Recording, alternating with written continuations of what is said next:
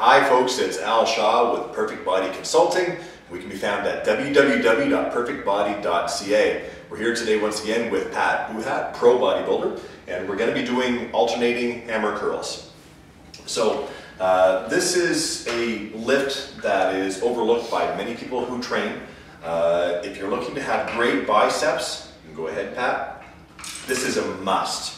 This this builds the head that is under the biceps. It's called the it's called the brachialis major, which is going to build so the bicep gets gets shoved up so it's more round. So with this, the palms are always facing the body. There's no twist whatsoever. And from that angle, it's called the hammer curl. It's like you're driving a nail with a hammer.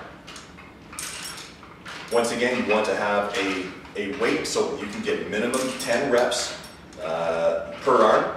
Uh, for those of you that are trying to gain bulk, then that, that number can be lower and, and the weight would be higher.